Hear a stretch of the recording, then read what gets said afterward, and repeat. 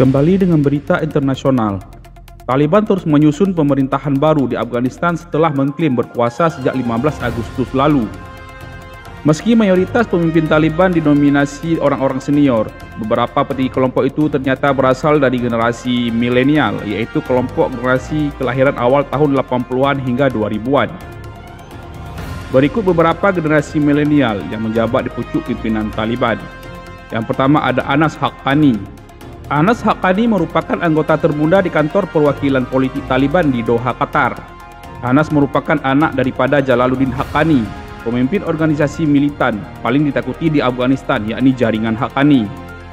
Anas masih berusia 27 tahun.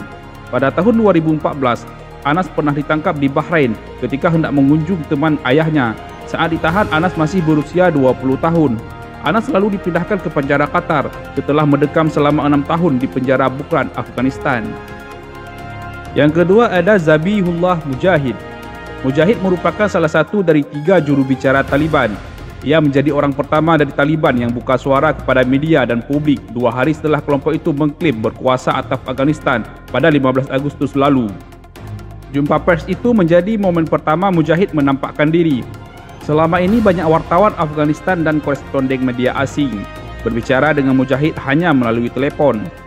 Menurut laporan sejumlah media, Mujahid berusia sekitar awal 70 tahunan. Yang ketiga ada Muhammad Naim. Naim saat ini menjabat sebagai juru bicara kantor politik Taliban di Doha, Qatar.